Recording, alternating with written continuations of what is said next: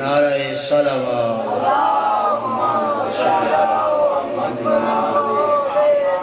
اپنی اس عبادت کی قبولیت و مقبولیت کے واسطے بلند آواز سے صلوات پڑھیے۔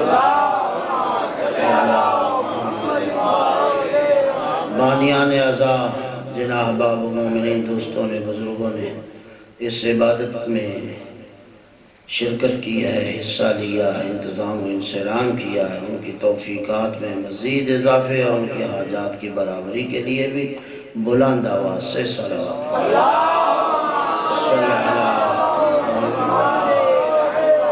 تمام مرحومین کی مغفرت و بخشش کے لیے بھی بلند آواز سے صلوات۔ اپنے تمام مریضوں کی شفا یابی کے لیے بھی بلند آواز سے صلوات۔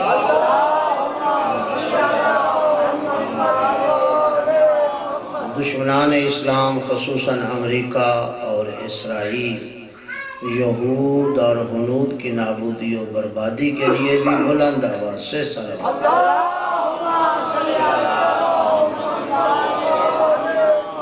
علماء عالم مراج اسلام، امام زمانہ کی صحت و تندرستی، سلامتی، عافیت اور آپ کے تاجیل ظہور کے واسطے بھی بلند آواز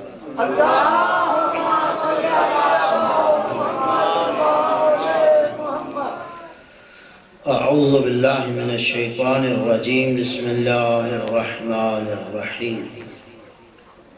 الحمدللہ الحمد لله رب العالمين والعاقبة للمتقين وجنة للموحدين المؤمنين المطيعين العارفين الكاملين والنار للمعاندين المخالفين المخاصمين المنكرين العاصين الحاسدين ثم الصلاة والسلام على انبیائه والمرسلین خصوصا سید الاولین والآخرین،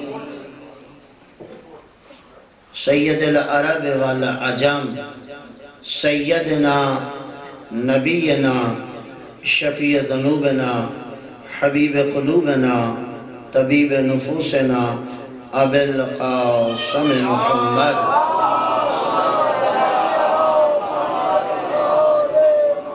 وعلى آل بيته الطيبين الطاهرين المعصومين المنتخبين المنتجبين. من يومنا هذا إلى يوم الدين وبعد يوم الدين. ولعنة الدائمة العبدية على أعدائهم ملعونين أجمعين من أول يوم العداوة إلى يوم الآخر وبعد يوم الآخر أما بعد فقد قال الله تعالى في كتابه المجيد وفرقانه الحميد وهو أصدق الصادقين قوله الحق بسم الله الرحمن الرحيم قو انفسکم و اہلیکم النارا صلوات پڑھئے بے حق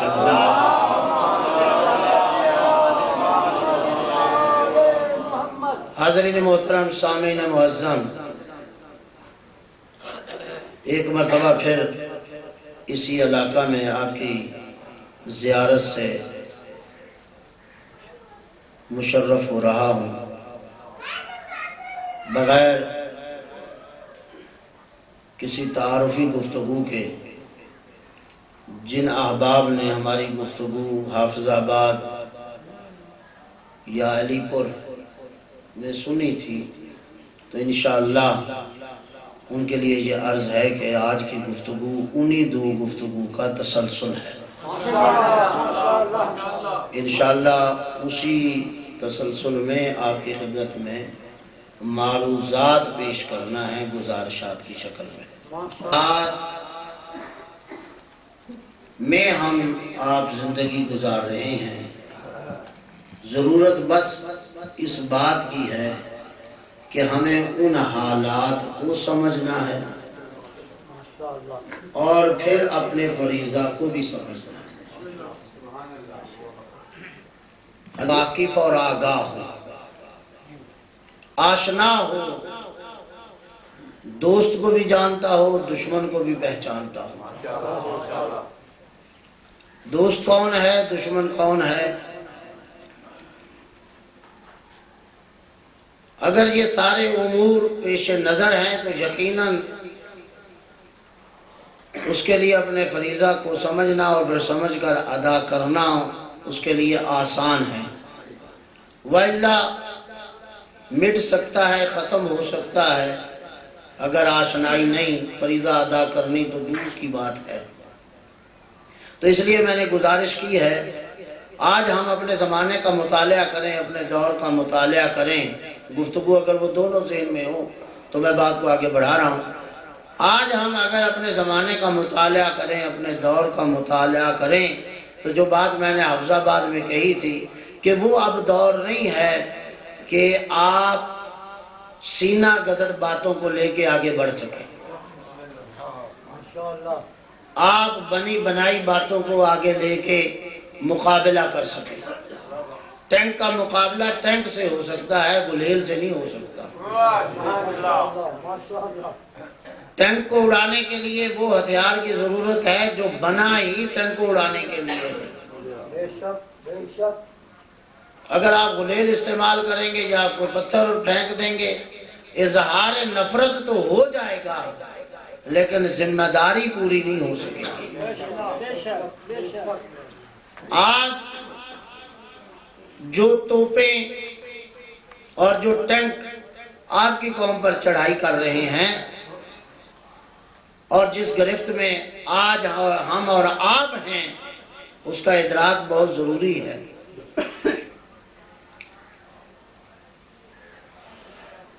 مجھے سمجھ نہیں آتی کہ وہ انسان جو بدن کا تو علاج کرتا ہے بدن کے فاسد ہونے پر، تو جب روح فاسد ہو رہی ہو، اس کے معالجے کے لیے کیوں فکر مند نہیں؟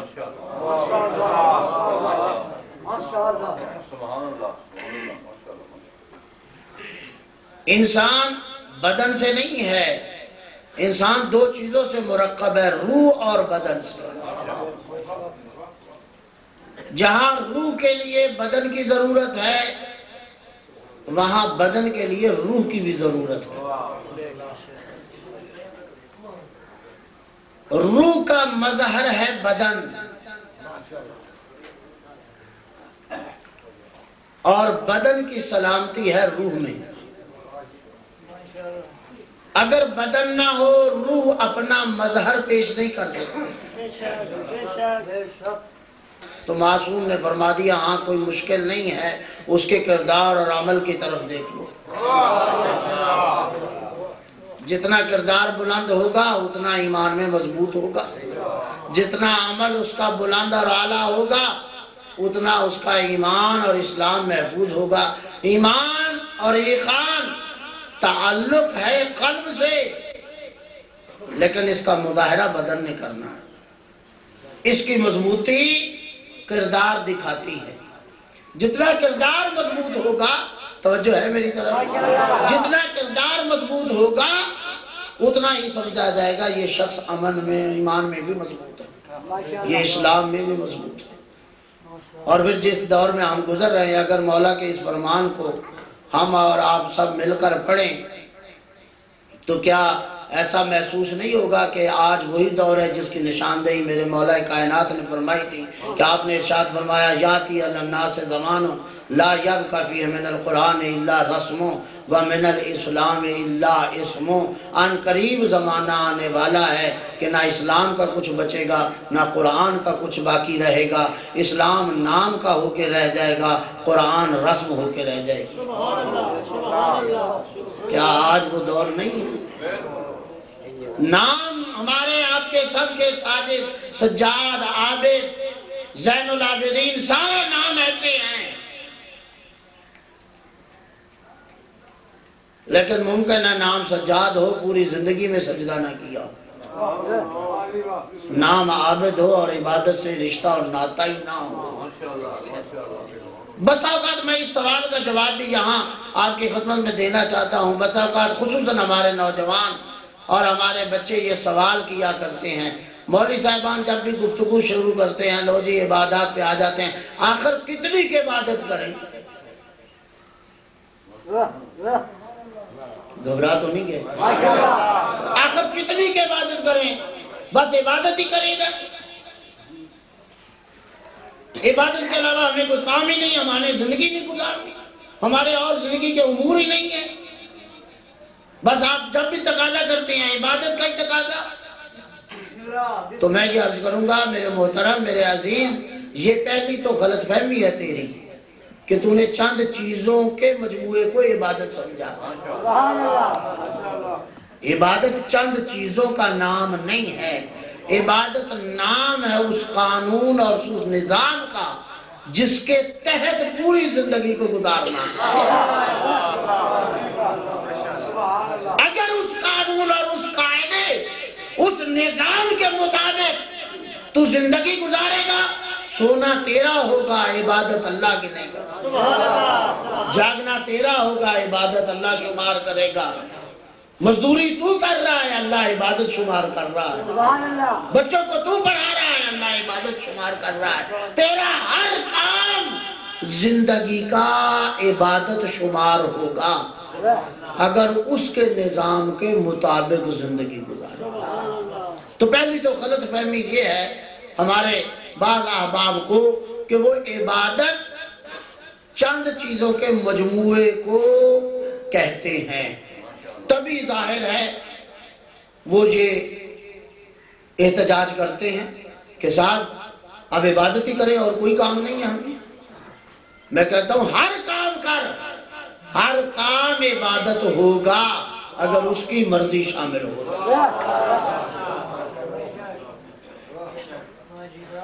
اور دوسرا جواب بھی میں یہی دینا چاہتا ہوں۔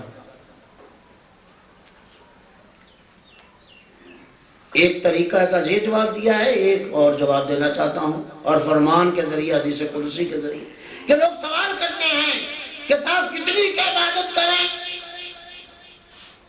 اور کوئی کام نہ کریں، کتنی کی عبادت کریں۔ یہ سوال پیغمبر سے بھی کیا، آئمہ سے بھی کیا، تو خدا نے اس کا جواب حدیث قدسی میں دیا اور کہا، رسول نے بتا دو کہ کتنی کی عبادت کرو۔ فَعْبُدُونِ بِقَدْرِ حَوَائِدِ قَائِلِيَّا انہیں یہ کہہ دو کہ میں تم سے زیادہ عبادت نہیں چاہتا، بس اتنی عبادت کر لو جتنا اپنے آپ کو میرا محتاج سمجھتا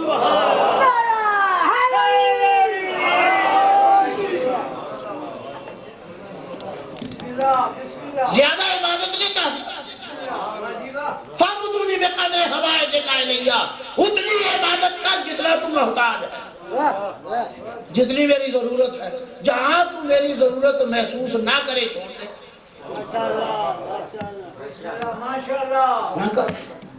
اگر چوبیس گھنٹے میں سمجھتا ہے کہ تجھے ایک گھنٹے میں خالق کی ضرورت ہو ایک گھنٹہ عبادت کر لے۔ اگر چوبیس گھنٹے میں دو گھنٹے تو سمجھتا ہے خالق یہ اس کا احسان عظیم نہیں ہے۔ چوبیس گھنٹے کا محتاج انسان۔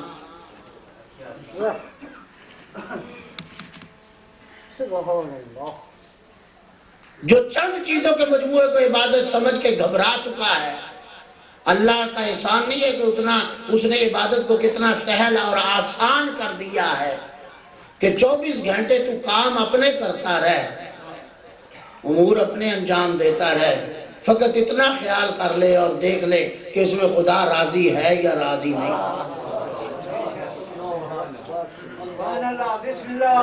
اگر تیرے نماز نہ پڑھنے میں راضی ہے نہ پڑھ۔ کون سی ضرورت ہے؟ اگر تیرا روزہ رکھنے میں نہ رکھنے میں اللہ راضی ہے نہ رکھ۔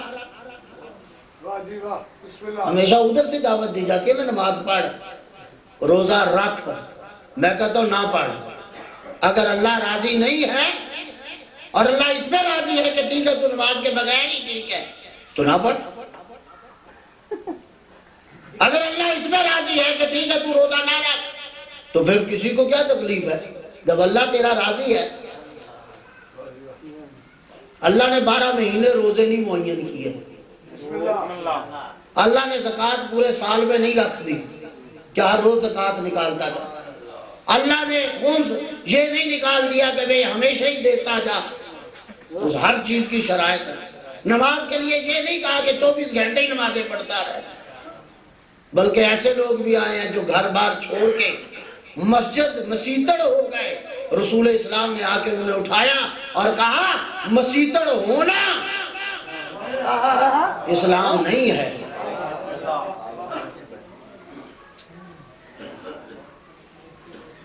اسلام یہ ہے کہ تو مسجد کے اندر ہو، مسجد کے اندر ہو یا مسجد کے باہر ہو، اس کی رضا کے مطابق اگر کر رہا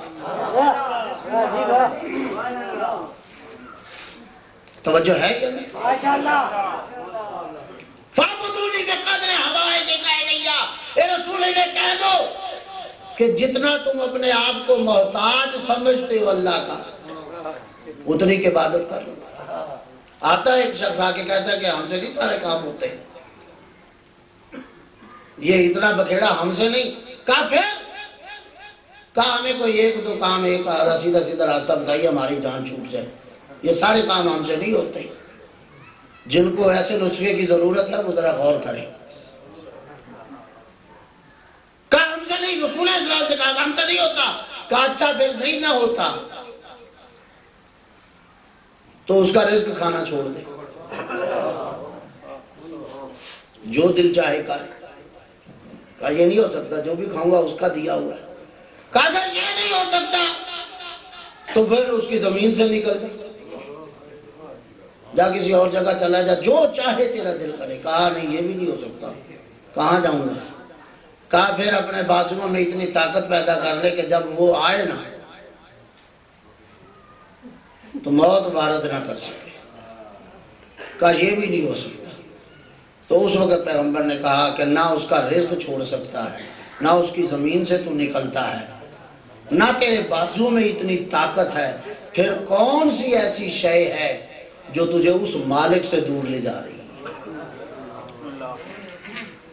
ذرا سوال پڑھیے نا بحق محمد اللہ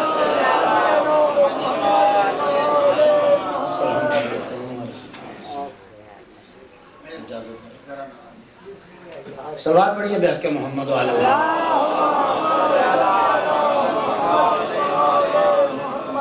بس اب مجھے حاضری دینی ہے، میرے برادر بزرگ محترم بھی تشریف لے آئے ہیں اور انشاءاللہ۔ بہرحال قو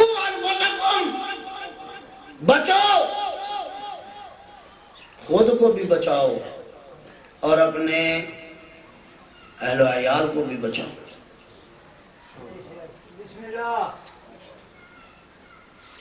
خدا نہ کرے ہم آپ پر وہ وقت آئے کہ جس طرح بعض روایات میں ہے۔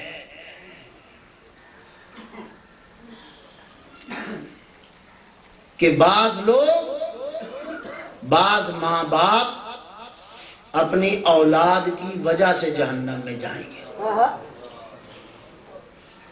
یا بعض اولادیں اپنے ماں باپ کی وجہ سے اور بعض ماں باپ اپنی اولادوں کی وجہ سے۔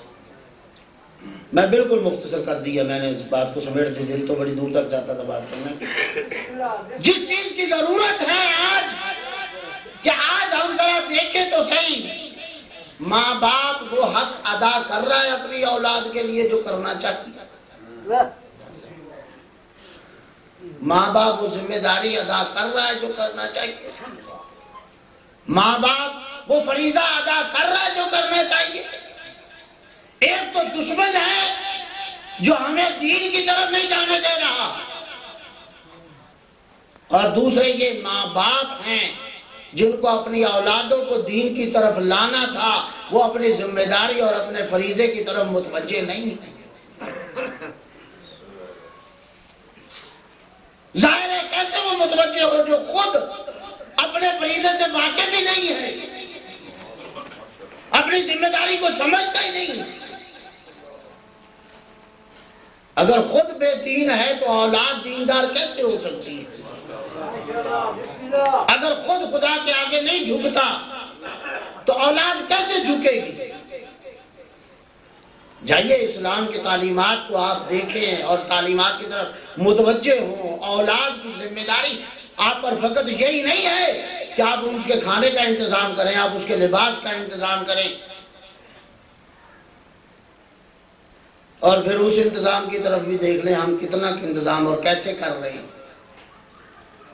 لباس ہم سمجھتے ہیں پاک ہوتا ہے۔ ہم سمجھتے ہیں بس پانی سے دھو لیا، یہی لباس پاک ہے۔ کبھی نہیں دیکھا یہ لباس جو ہم پہنا رہے ہیں اپنے بیٹے کو، اپنی اولاد کو۔ حرام کی کمائی کا تو نہیں ہے۔ حرام تو شامل نہیں ہے۔ کبھی نہیں دیکھا جو غذا دے رہے ہیں۔ یہ غذا حلال ہے۔ آیا اس میں حرام کی آمیزش تو نہیں۔ اور چند سالوں بعد جب نتیجہ سمرہ سامنے آتا ہے، تو پھر رو رو کے یہ شخص کہتا ہے، پتہ نہیں، میں نے تو اس کی بڑی خدمت کی ہے، یہ حرام زادہ ہوا کیوں ہے؟ یہ نہیں دیکھا یہ حرام زادہ ہوا نہیں ہے، اسے حرام زادہ بنایا گیا ہے۔ یہ آج کا ماں باپ اس بات پر ناراض اور نالا ہے کہ جو میرا بچہ، میرا بیٹا، میری اولاد ہو کر میرے سامنے ہے، میرا نافرمان ہے۔ کبھی سوچا ہے تو بھی تو خالق کا نافرمان ہے۔ آج اپنی اولاد کی نافرمانی تو بڑی کھلتی ہے۔ آج اپنی اولاد کی نافرمانی گھبرا تو نہیں گئے۔ آج اپنی اولاد کی نافرمانی تو بڑی محسوس ہوتی ہے۔ اگر یہ اولاد دیکھتی کہ یہ میرے ماں باپ، میرے خدا کے فرما بردار ہیں، تو یقیناً یہ اولاد بھی تیری فرما بردار ہوتی۔ جو بویا ہے وہ کاٹ تو رہے ہو۔ جو انہیں دیا ہے وہی تو تمہیں واپس مل رہا ہے۔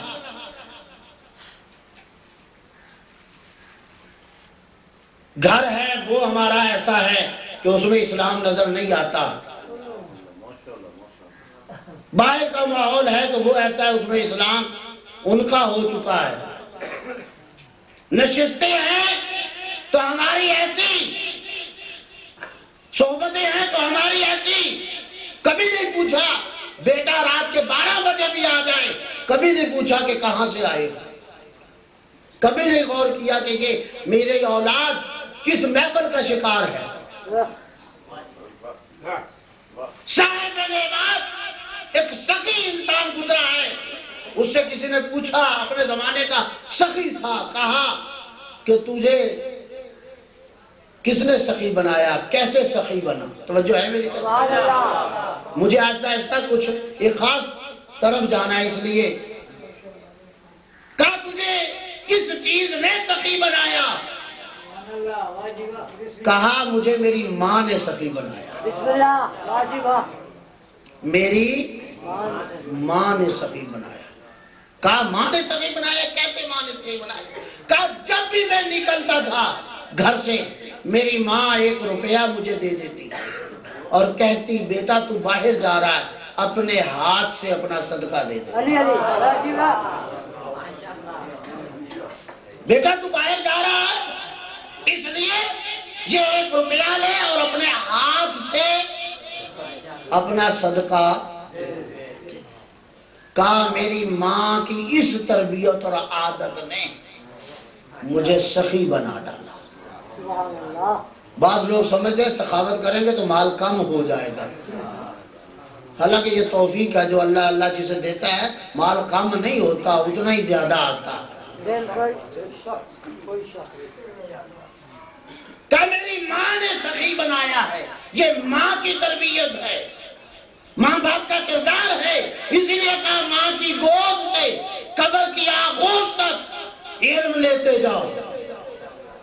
کیوں؟ اس لیے حالانکہ باپ کی گود بھی کہی جا سکتی لیکن اولاد کو سب سے زیادہ وقت جس گود میں ملتا ہے، وہ ماں کی گود ہوا کرتا ہے۔ لیکن کبھی ہم نے توجہ نہیں کی کہ جس گود میں اللہ کی جی امانت آنی ہے، اس گود کی بھی کبھی تربیت ہوئی ہے۔ ماں باپ پر بڑا انحصار ہے۔ ماں باپ کی ذمہ داری ہے اپنی اولاد کی طرف متوجہ ہو۔ کہاں سے میری اولاد بیٹھی تھی؟ کہاں سے آ رہی ہے؟ کہاں جا رہی ہے؟ ماحول اثر انداز ہوتا ہے۔ اسی لیے اگر آپ پڑھیں تو آپ کو معلوم ہوگا کہ جناب نوح کے بیٹے کے لیے یہ لکھا گیا ہے علماء نے کہا ہے کہ اس کے ایک دوست کی صحبت نے اسے اس مقام پہ پہنچا دیا۔ اس کا دوست ایسا تھا جس کی وجہ سے وہ باپ کا نافرمان ہوا۔ حجاج بن یوسف کے حوالے سے اب میں پوری تفصیلات بیان نہیں کروں گا، چونکہ میرے سامنے وقت بھی ہے۔ حجاج بن حجاج بن یوسف، جس کے حوالے سے آپ لوگ یقیناً آگاہ ہوں گے۔ اس کے بارے میں علماء نے لکھا ہے کہ یہ شخص اس مقام پہ کیوں پہنچا؟ اس لیے کہ اس کی ماں فاسق و فاجر تھی۔ زانیہ تھی۔ یہ اپنی ماں کی وجہ سے اس مقام پر پہنچا۔ میں بس اتنا ہی کہوں گا، اگر ماں ہندا جیسی ہو، تو بیٹا امیر شام جیسا پیدا کرتی۔ ہے اور اگر ماں فاطمہ جیسی ہو،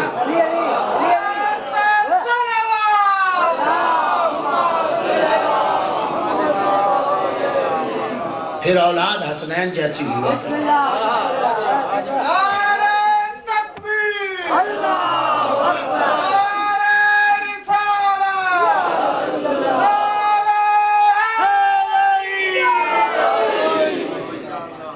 ماں پر بڑا فرق ہوتا ہے ماں کے حوالے سے یہ ماں کا اثر ہے کہ اگر کوئی عالم دین اس مقام پہ پہنچ سے بڑھ کر اگر اس سے بڑا مقام پاتا کا اس سے بڑا مقام کیا ہو سکتا ہے؟ آئمہ کے بعد سب سے بڑا مقام دنیا انسانیت میں ایک مرجعیت کا مقام۔ ساری تربیت آپ کو کیا بتا سکتے ہیں؟ بس اتنا سن لو کہ حاملے تو اس کو اپنے سینے سے لگنے نہیں دیا۔ اس وقت تک یہ گھونٹ نہیں پی سکا۔ جب تک ہم نے وضو نہیں کر لیا جو ماں بغیر وضو کے دودھ نہیں دیتی، وہ حرام کا لقمہ جانے دے گی۔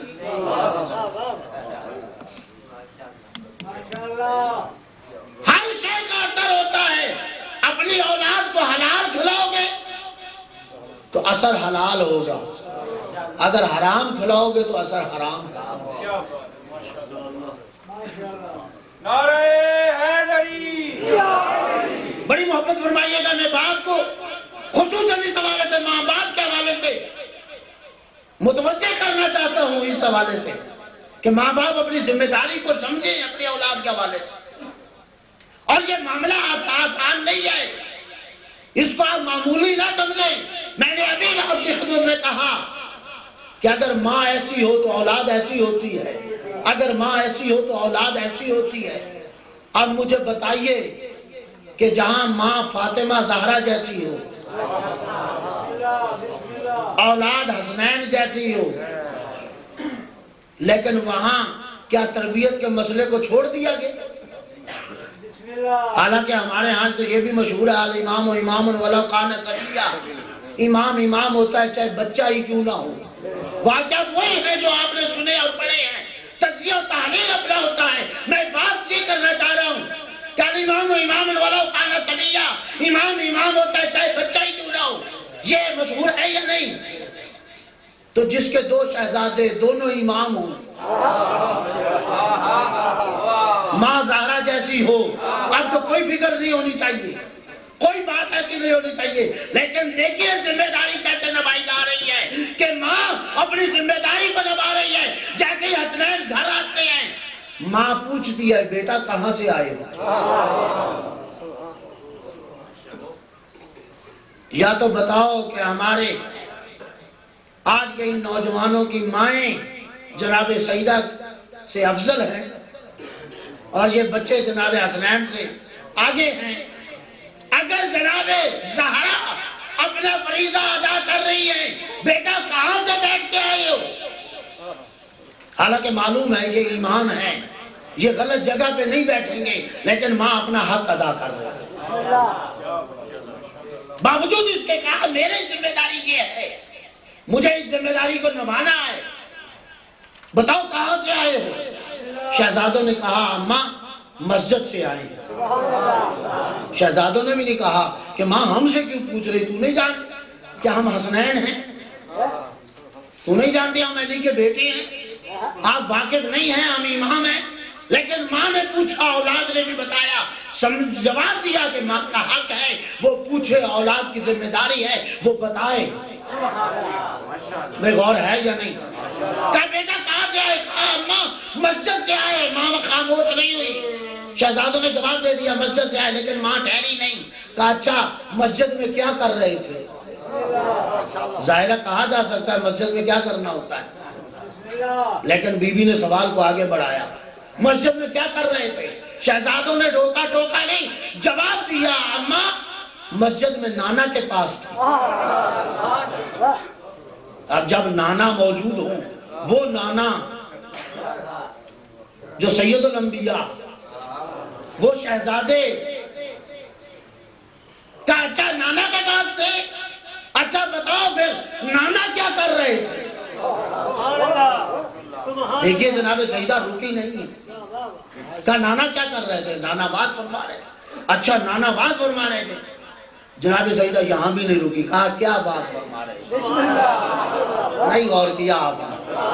آپ متوجہ نہیں ہوئے میں بات کیا آپ کی کہا کیا بات فرما رہے تھے یعنی جناب سیدہ ساتھ ساتھ تربیت کر رہی اپنے فریضے کو ادا کر رہی آج کی ماں کو یہ بتا رہی ہیں۔ کہ اگر میں زہرا ہو کر میرے بیٹے حسنین بھی ہیں پھر بھی میں اپنا فریضہ ادا کر رہی ہوں۔ تو پھر تو گھر خاموش کیوں بیٹھی ہے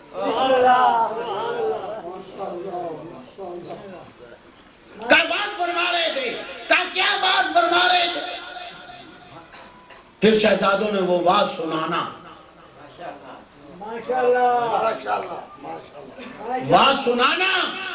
جناب علی مرتضی نے پوچھا، شہزادی کیا کرتی ہیں آپ؟ کہا علی شہزادوں سے پوچھتی ہوں۔ اچھا پھر شہزادے کیا بتاتے ہیں؟ کہا، شہزادے سناتے ہیں، نانا نے آج کیا گفتگو کی؟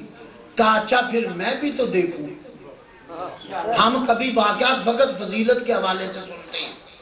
یہ حقیقت میں تربیت ہو رہی نہیں۔ یہ حقیقت میں اپنا کردار ادا کیا جا رہا تھا۔ باوجود علی بن ابی طالب جانتے ہیں۔ ان کی ماں زہرا ہے میرے بیٹے حسنین ہے لیکن اب باپ ہونے کے ناطے میری ذمہ داری ہے۔ میں اپنی زوجہ سے بھی پوچھوں کہ میری اولاد کی خبر دے۔ ماں کو زیادہ پتا ہوتا۔ گھبرا تو نہیں گئے۔ ماں کو زیادہ پتا ہوتا ہے۔ اچھا بتاؤ کیا؟ کہا روزانہ اس طرح میں تو ان سے سنتی۔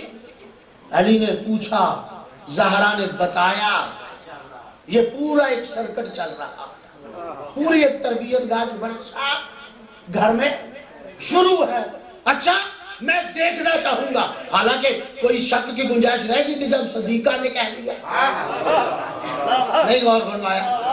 کوئی شک کی گنجائش تھی؟ شک کی بات نہیں تھی۔ یا اپنی ذمہ داری کو ادا کرنا ہے۔ اچھا میں سنوں۔ میرا بیٹا واقعا کچھ ہاں سن لیجیے گا۔ اور سنا اور سارا نتیجہ آپ کے سامنے ہے۔ اور انصاف سے بتائیں ہم نے آئمہ کے ان واقعات سے لیا کیا ہے؟ آج کا باپ وہ ذمہ داری ادا کر رہا آج کی ماں جبکہ دور ایسا ہے۔ میں نے وہاں حفظ آباد کی مجلس میں میں نے کہا تھا آج شیعہ بنانے کی ضرورت نہیں آج بڑی بات یہ ہے کہ آپ شیعہ کو شیعہ رکھ دیں شیعہ کرنا مشکل نہیں ہے، وہ چھوڑے۔ شیعہ کو شیعہ شیعت پہ رکھیں۔ آج شیعت ہمیں کہیں اور دکھائی دیتی ہے۔ جس ماحول میں علماء کو گالیاں دی جائیں، جس ماحول میں ان بزرگان کو گالیاں دی جائیں جن بزرگان کے ہاتھوں میں اگر امام زمانہ کا ہاتھ ہو اور علامہ ہلی جیسے پوچھ لیں۔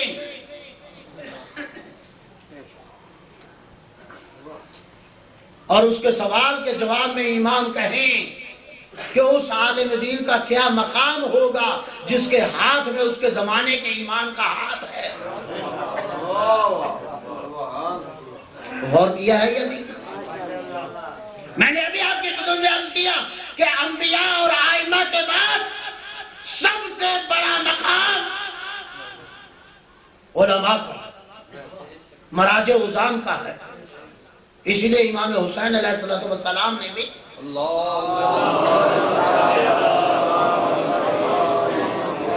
علماء کے حوالے سے یہ جملہ کہا کہ یاد رکھو، یہ علماء تمہارے امور زندگی کے تمام امور زندگی جو جو امور ہیں اور خصوصاً احکام کے حوالے سے بھی یہ تمہارے ذمہ دار ہیں۔ کیوں؟ یہ وہ لوگ ہیں جو تمہیں اللہ کی طرف لے جاتے ہیں۔ یہ وہ لوگ ہیں جو امین ہیں اللہ کی شریعت کے، جو حلال کو حلال بتاتے ہیں اور حرام کو حرام بتاتے ہیں۔ آج دشمن اب کا اتنا آگے نکل چکا ہے۔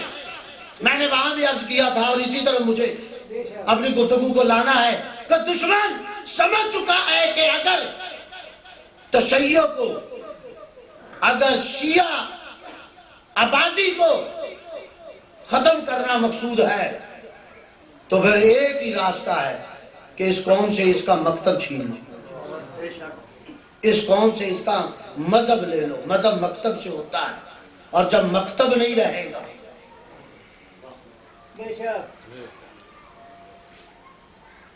اللہ نے اسی شریعت کو پہنچانے کے لیے رسول اور قرآن بھیجا۔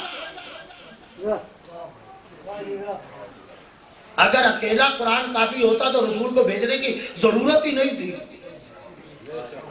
شریعت کے لیے کوئی چاہیے جو شریعت کو بیان بھی کرے اور شریعت کی حفاظت بھی کرے۔ ہر بندہ شریعت کو اپنے لحاظ سے نہیں سمجھ سکتا۔ ہر بندہ اپنے لحاظ شریعت کی تشریح نہیں کر سکتا۔ آج اٹھتے ہیں کلینی کو گالیاں، آج اٹھتے ہیں شیخ صدوق علیہ رامہ کو گالیاں، آج اٹھتے ہیں ہر مجھ، ہمارے ہاں تو یہ جملہ عام ہے، مجدد کیا ہے؟ مرجع کیا ہوتا ہے؟ مجھے چونکہ موضوع بھی یہی دیا گیا، اس لیے میں گفتگو کو اس مقام پہ لایا ہوں۔ مجتہد کیا ہے؟ مرجع کیا ہے؟ آپ سمجھتے نہیں مجتہد کیا ہے، مرجع کیا ہے؟ مجتہد اور مرجع وہ ہوتا ہے جسے نائب امام کہا جاتا ہے۔ جن کے لیے جملے موجود ہیں، الراد علیہم الراد علینا۔ جنہوں نے ان کا انکار کر دیا، اس نے ہمیں ٹکرا دیا۔ اور معصوم فرماتے، جس نے ہمیں ٹکرایا، اس نے رسول کو ٹکرایا۔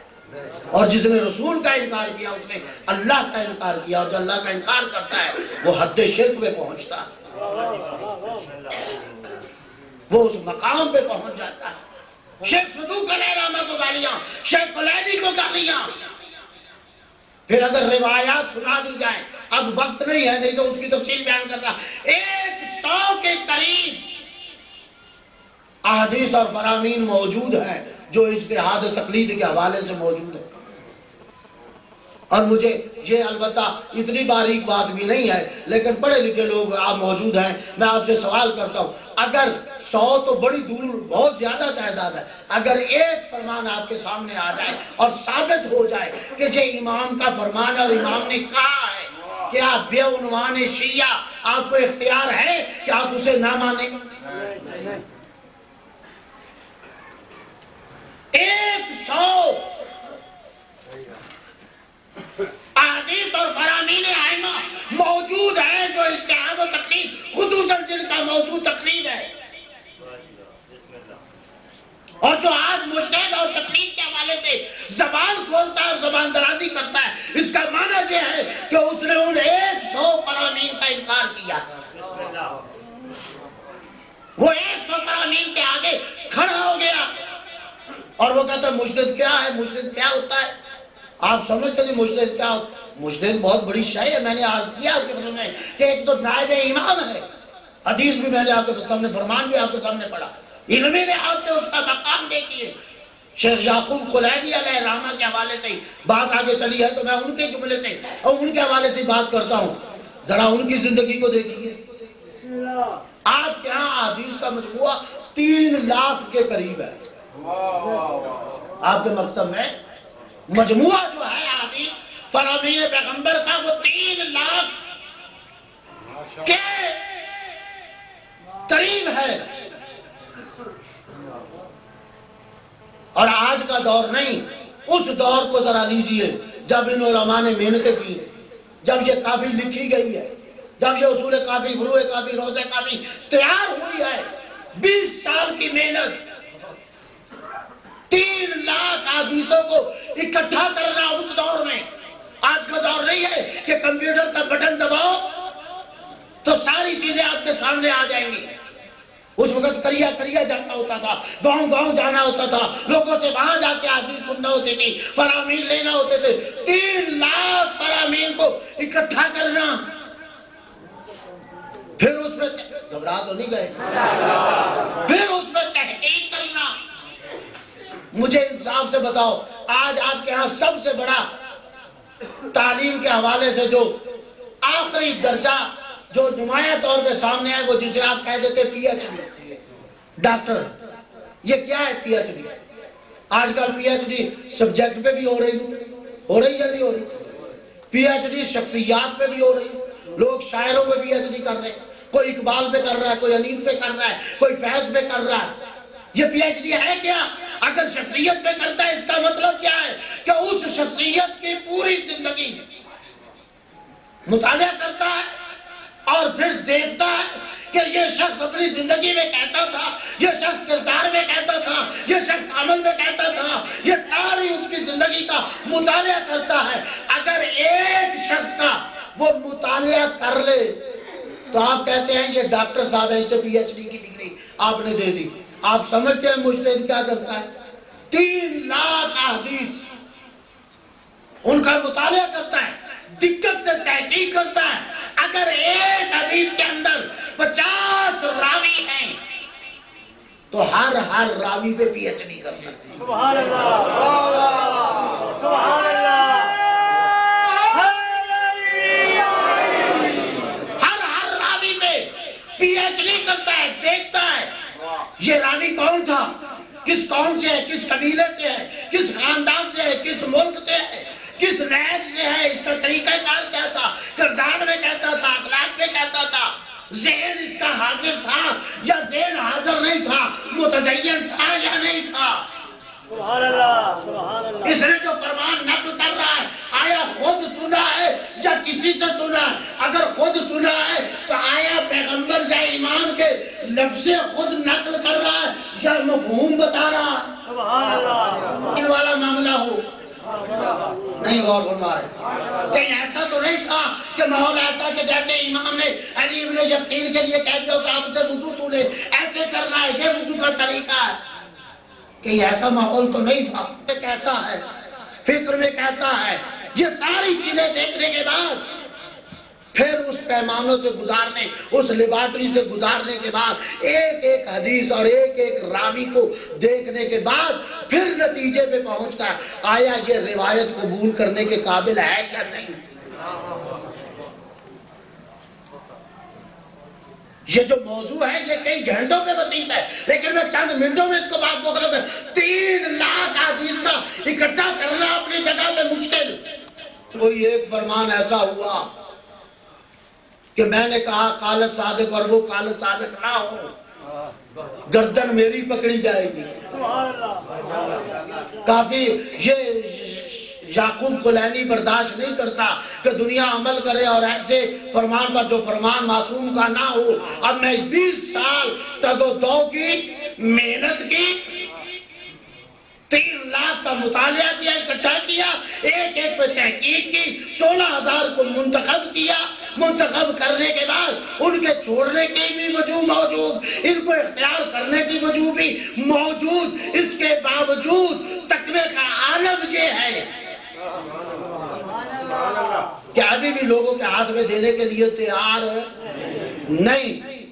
پریشان ہو جاتے، کیسے دے دیں؟ گے پریشانی کے عالم میں اس نتیجے پہ پہنچتے نہیں، میں ایسا شاہ شیخ یعقوب کلینی یہ کام نہیں کر سکتا، اس لیے میں اس کافی کو دریائے دجلہ میں ڈال دوں۔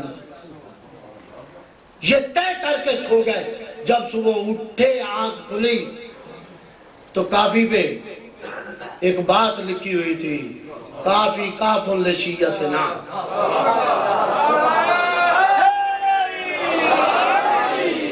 کافی کاف لشیت نا۔ یہ گرانے کے قابل نہیں ہے، یہ ہمارے شیعوں کے لیے کافی ہے۔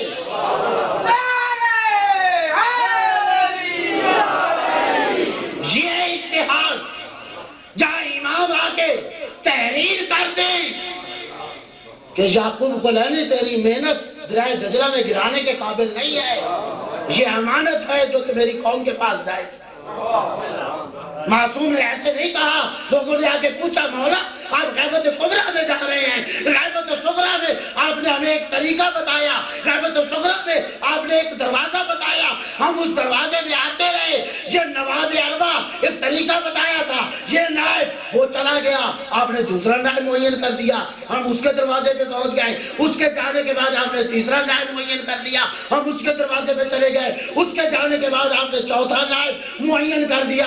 ہم اس دروازے پہ چلے گئے۔ اب آپ فرما رہے کہ میں خیبت کمرہ میں جا رہا ہوں۔ اب نواب معین نہیں کروں گا۔ اب ہم کدھر جائیں؟ اب ہماری ہمارا ٹھکانہ کیا ہوگا؟ اب ہمارا دروازہ کیا ہے؟ تو معصوم فرماتے فارجو الہ روات حدیثنا۔ یاد رکھو، اگرچہ اس وقت ایک دروازہ معین تھا، لیکن اب خیبت قبرہ کا تقاضا یہ ہے کہ اب ایک معین نہیں کیا جا سکتا۔ اب کئی دروازے ہوں گے، بس جو جو ہماری روایتوں کو بیان کرنے والا ہے۔ فارج الہ روات حدیث نا، اس کی طرف تم رجوع کرو۔ یہ بحث، یہ البتہ قابل بحث ہے، اس میں کافی بحث اب وقت نہیں ہے۔ یہ شرائط ہے۔ اما من کام من الفقہ سائن لنفس حافظ الدین مخالف الاحبا مطیعا لعمر مولا۔ یہ شرائط رکھی ہے فَلِلْ عَوَامِ عَيْ يُقَلِّدُ عوام کے لیے ضروری ہے کہ ایسے مجتہد کے لیے تقلید کریں۔ ایسے مجتہد کی طرف رجوع کریں۔ مجتہد کی طرف، امام مرجع کی طرف اپنی قوم کو بھیج رہا ہے اور قوم مرجوں کو گالیوں کا مرکز بنائے۔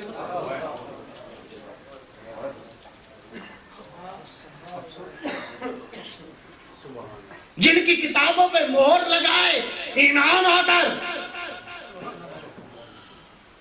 اگر کتاب نقل کرنے لگے اور علامہ نقل کرتے کرتے تھک جائیں، سو جائیں اور وعدے کے مطابق کتاب واپس بھی کرنا ہے صبح جب آنکھ کھلی تو پتا چلا کتاب پوری نقل ہوئی پڑی۔ یہ کس نے نقل کی؟ جن کے کاموں میں آ کے امام خود ہاتھ بٹائیں۔ شیخ صدوق علیہ رحمہ جو امام کی دعا سے پیدا ہوئے۔ جن کے لیے امام کی دعا موجود ہے۔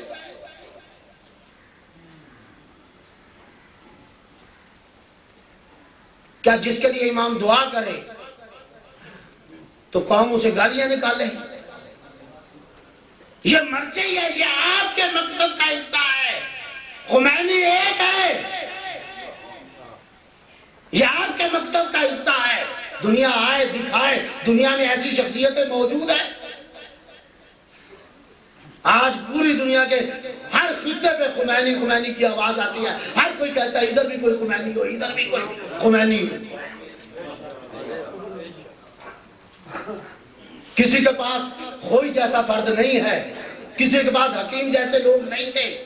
اور قومیں ہیں، ایسے لوگوں سے خالی ہیں۔ اللہ نے آپ کو ایسی قوم عطا کی۔ اللہ نے آپ کو ایسا مذہب عطا کیا جس میں آئمہ کے پاس وہ شخصیات موجود ہیں جن کی زیارت کے لیے خود آئمہ آیا کرتے تھے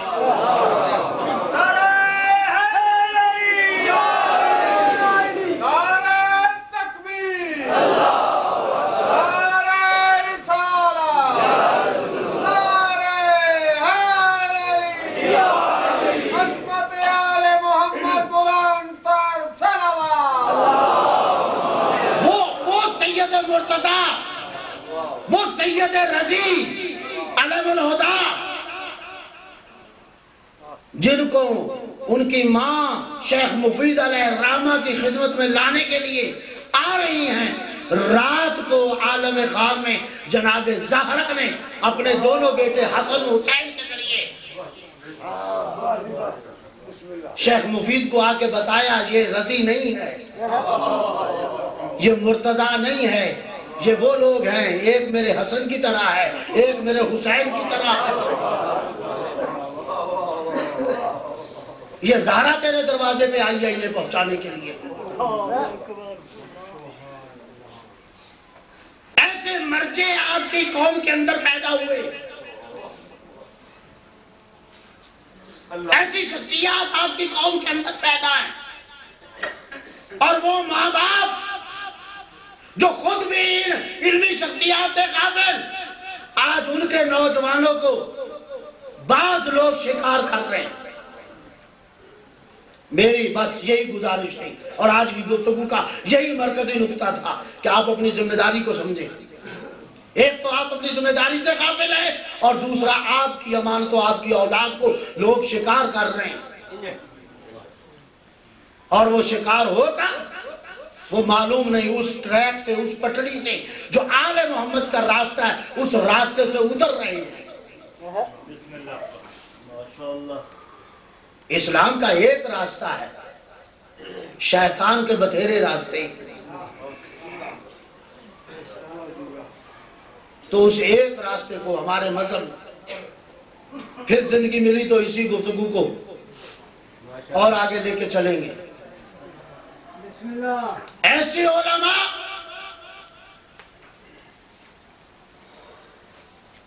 اور ان علماء کو گالیاں دی جائیں جن علماء کو یہاں امام اپنے سلام بھیجیں. استاد اور شاگرد میں اگر بحث ہو جاتی ہے تو نتیجہ امام سے لیا جاتا ہے تو امام وہاں جملہ یہ کہتے ہیں، الشیخ موتمدی والحق، الحق ما ولدی والشیخ موتمدی حق میرے بیٹے کے ساتھ ہے، لیکن شیخ، آپ ہمارے موتمد ہیں۔ ہم آپ پر اعتماد کرتے ہیں۔ جن پر امام اعتماد کرے، قوم اسے گالیاں دے۔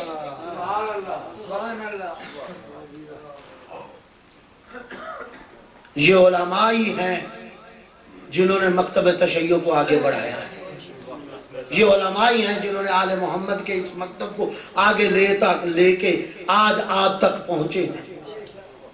الناس موتا وَأَهْلُ الْعِلْمِ أَحْيَا یہ مولا کائنات کا جملہ ہے۔ لوگ مر جائیں گے۔ زندہ رہنے والے فقط علماء ہیں۔ آج دوسرے لوگوں کا نام نہیں ملے گا۔ آج ملے گا تو خوئی کا نام ملے گا، حکیم کا نام ملے گا، مختلف بزرگان دین کے نام ملیں گے انا تو موتا لوگ مر جائیں گے صاحبان علم زندہ رہیں اور کوئی زندہ نہیں رہے گا، یہ زندگی جو یہاں دکھائی گئی، وہ صاحبان علم کے۔ یہ دین کا راستہ لے کے چلنا آسان نہیں تھا۔ اگر آسان ہوتا دین کا بچانا تو پھر اکبر جیسی قربانی دی جاتی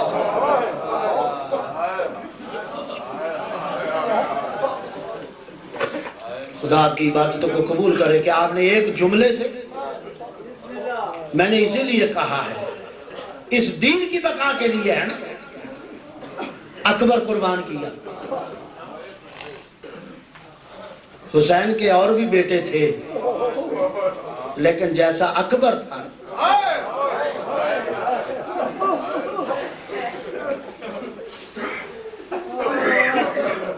یہ واحد اکبر ہے جب جا رہا ہے تو حسین آسمان کی طرف سر اٹھا کے کہہ رہا ہے، اللہ گواہ رہنا۔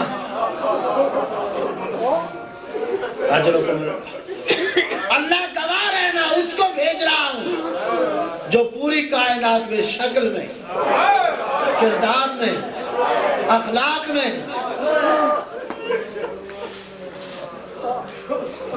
سب سے زیادہ رسول سے مشابہ تھا۔ یہ اکبر ہی تھا نا۔ جب چلا ہے تو پیچھے سے ٹاپوں کی آواز سنی۔ گردن گھما کے دیکھا کہ بابا دوڑے آ رہے ہیں۔ شہزادہ اتر جاتا ہے، بابا، کسی شہید کے پیچھے تو نہیں گئے۔ کیا معاملہ ہے؟ میں جب جا رہا ہوں تو پیچھے آ رہا رو کے کہا، اکبر، تیرا جیسا بیٹا تیرا ہوتا۔ تاریخ شاہد ہے۔ حسین نے یہ کہا، اکبر، جاؤ اللہ کے حوالے، لیکن میری یہ خواہش ہے۔ بابا، کیا جب تک وہاں پہنچ نہ جاؤ، مڑ مڑ کے اپنے چہرے کی زیارت کراتے رہو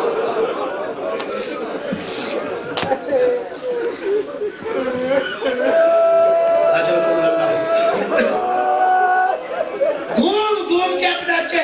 چہرہ دکھاؤ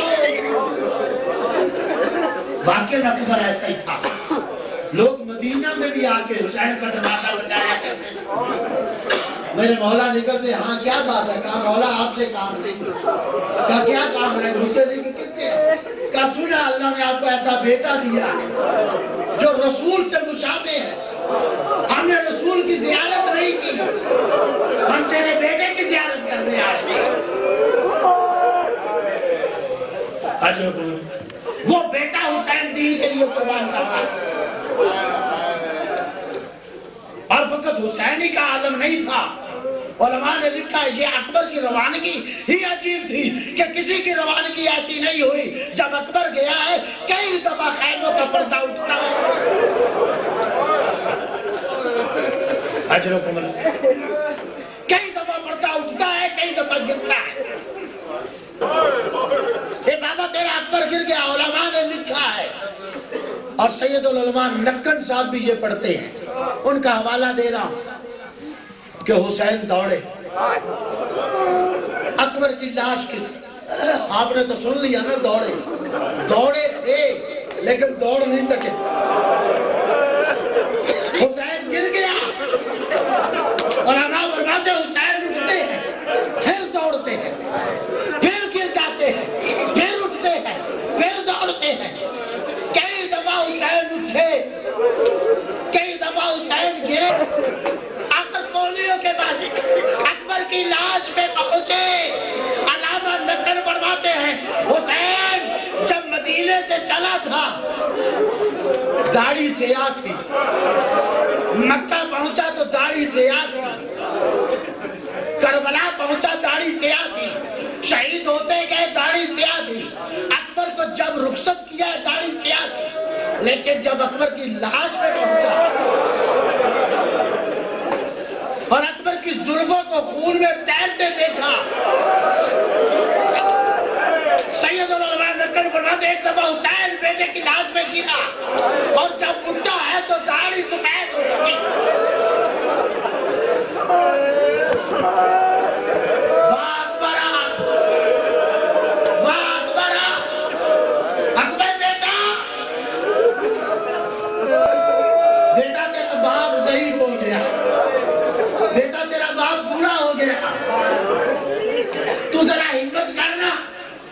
اپنا ہاتھ میرے کندھے پہ رکھ ایک ہاتھ اٹھایا، کندھے پہ رکھا۔ بیٹا نے پرچھی ماری ہے۔ اس نے سنا ہے، اس نے کہا، سنا ہے، تیرا بابا بڑا صابر ہے۔ ہم تیرے بابا کا صبر دیکھنا چاہتے ہیں۔ اچھا میرا صبر دیکھنا ہے۔ تو اکبر بیٹا، تو بھی میرا ساتھ دے۔ ایک دفعہ حسین نے اکبر کے سینے پہ ہاتھ رکھا۔ دوسرا ہاتھ اس برچی میں ڈالا۔ آسمان کی طرف سر اٹھا کے یہ کہا ہوگا نا؟